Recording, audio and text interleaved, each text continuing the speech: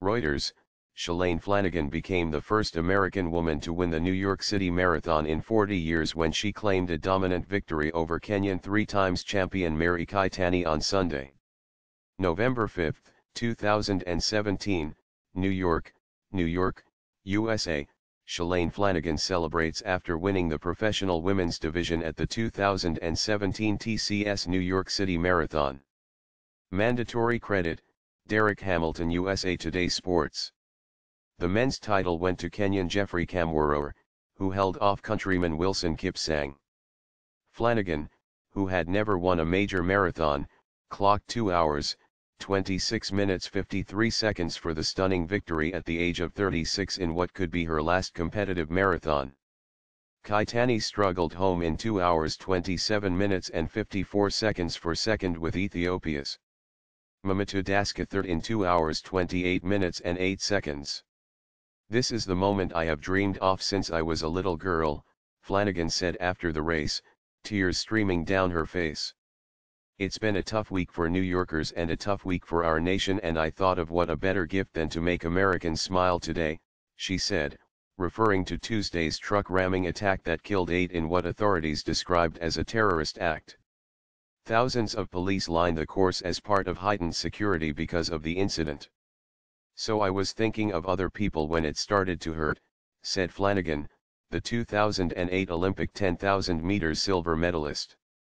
American women had not won in New York since Miki Gorman claimed her second consecutive title in 1977. Keitany, winner of this year's London Marathon and the fastest ever in a women's only marathon, had been expected to run away with the race but a slow pace allowed Flanagan and others to stay with her early. When crunch time came it was Flanagan, not Keitany, who dominated, impressively leading the final three miles. Geoffrey Kamworor of Kenya crosses the finish line to win. Reuters slash Brendan McDermid. Whether she runs another major marathon is likely to be decided in the coming days. She said after the race she would meet with her coach, Jerry Schumacher, to discuss her running future. I think I will sit with my coach tonight and I think we will have some decisions to make, Flanagan told a news conference. While Flanagan was an overwhelming winner, Kamworor was not assured of his first major victory until the closing meters. Slideshow, 26 images.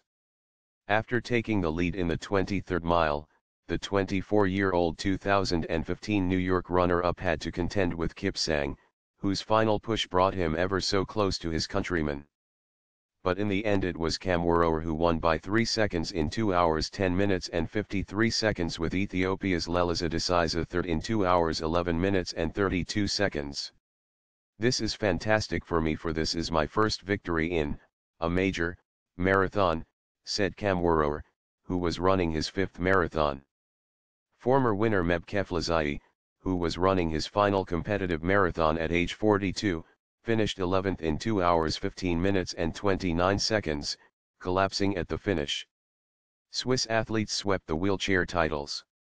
Manuela Schär stunned five times champion Tatiana McFadden in the women's race, defeating the American by almost 3 minutes in 1 colon 48.09. McFadden clocked 1 hour 51 minutes and 1 second and third went to compatriot Amanda McGrory in 1 colon 53.11.